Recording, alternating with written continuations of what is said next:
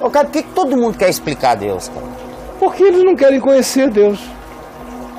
Por que, que os, Porque as quem quer conhecer essa, Deus? Essa, essa, essa A primeira obsessão. coisa de quem conhece a Deus é o discernimento da inexplicabilidade de Deus.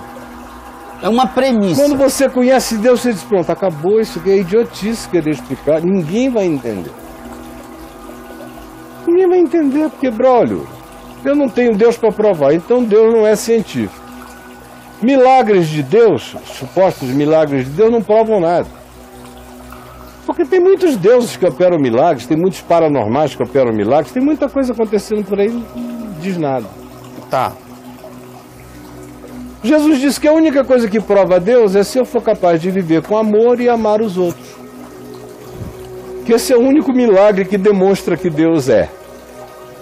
Tudo mais, eu posso ficar com astronomias, olha a lua, olha a precisão, olhe o espaço, olha a grandeza dos elementos, olhe a, a infinidade dos fenômenos, olhe tudo isso.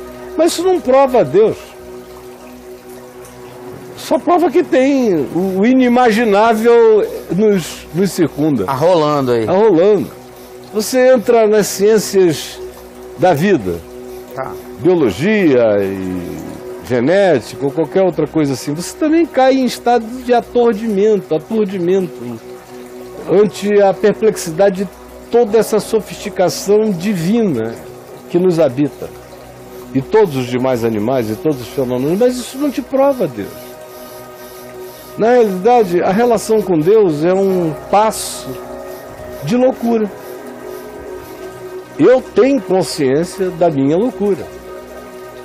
Porque eu sou um cara que ando por aí, confiando no invisível, pregando a bondade de um Deus que eu nunca vi, crendo que a expressão maior do amor de Deus pelos homens, como homem, se manifestou em Cristo Jesus, conforme os evangelhos. Hum.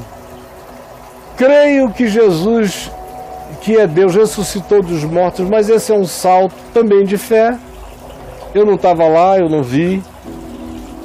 Eu não posso nem dizer como eu fiz com as duas naves não identificadas que eu vi voando na minha cabeça.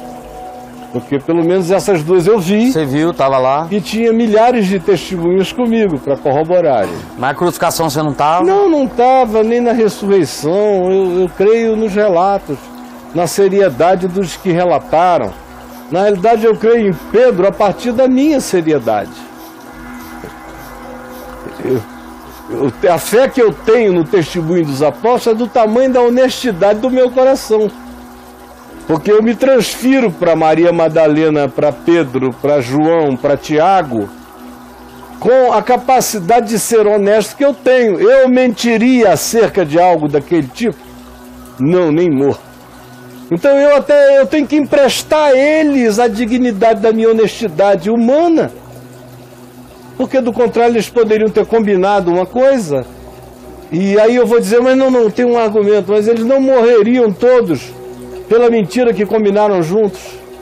Morreram separadamente, em horas diferentes, para sustentar uma mentira que eles combinaram. Aí tá, não, dá uma desmontada legal, mas não prova a ressurreição também.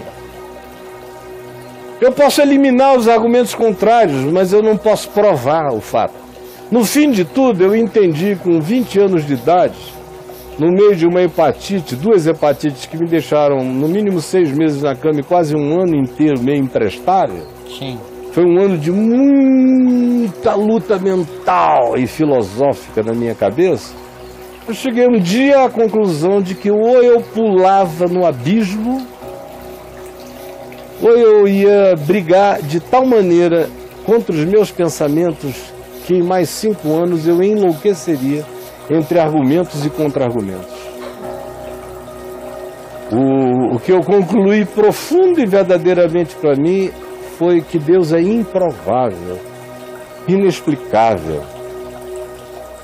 E que a própria pregação do Evangelho repousa sobre a minha honestidade de crer que o ser humano não seria um filho da puta com o resto da humanidade e nem seria tão diabólico com o resto da humanidade, dizendo que ele ressuscitou, que ele não ressuscitou, e morrendo heroicamente, gritando a ressurreição dele, se Deus não ressuscitou de entre os mortos.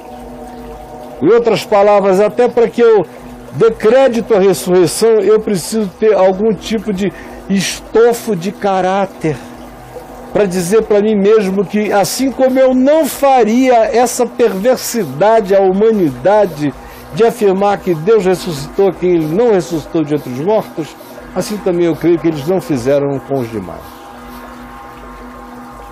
E qualquer outro argumento, tem muitos argumentos para desfazer essa dúvida, mas que geram outras dúvidas.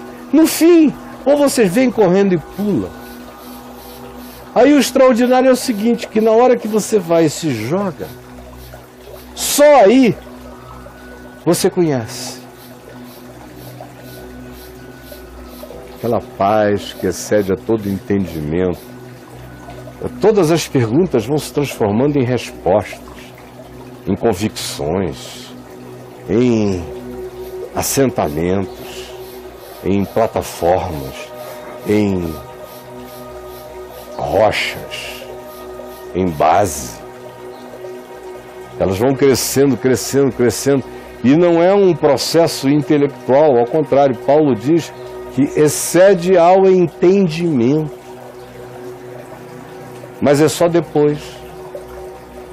E não é algo no que você mergulha para sair dali com um livro ensinando como é que se faz isso. Fazendo um TED do Porque que aconteceu. não existe TED para o salto da fé pessoal e incompartilhável de cada um com Deus. E sem que tal coisa aconteça conosco, ninguém jamais terá a fé que nasceu verdadeiramente no coração. Porque você vai ter instrução, doutrinação, segurança de outros, mas você mesmo não está pronto para pular de cabeça no Pantanal das Agonias e sair do lado de lá dizendo: O Senhor é comigo.